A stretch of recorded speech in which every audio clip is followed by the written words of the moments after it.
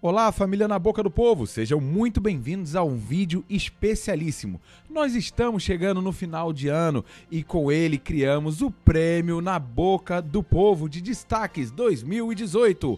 Hoje, na primeira categoria, vou apresentar para vocês quem é que leva o prêmio de melhor participante de reality show feminina no Brasil.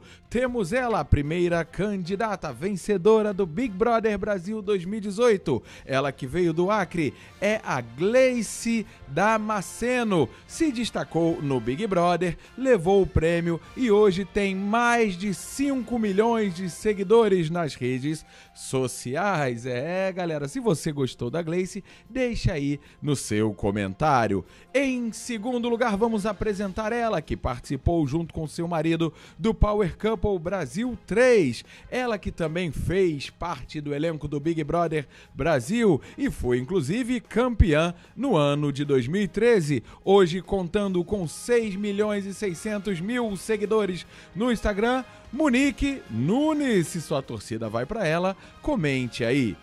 Em terceiro lugar, vamos apresentar ela que participou do Big Brother 2018 e se destacou demais dentro da casa mais vigiada do Brasil, chegando inclusive a ser contratada pela Rede Globo de televisão. Se você torce para Ana Clara, que tem mais de 7 milhões e 800 mil seguidores no Instagram, comente nos comentários, é claro. Em último lugar, e não menos importante, a peoa mais doida da Fazenda. E ela que fez também o Power Couple Brasil 3 e se destacou em ambos os realities. Iria ser a vencedora da Fazenda se não tivesse agredido Kaique. Se você torce para Nádia ser a melhor representante feminina de reality shows do Brasil em 2018, ela que tem 943 mil seguidores no Instagram, deixe aí nos comentários. Se você gostou dessa premiação,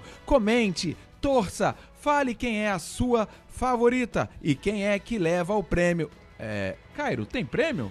Quer dizer, quem é que ganha pelo menos o título aqui de melhor participante feminina de reality 2018?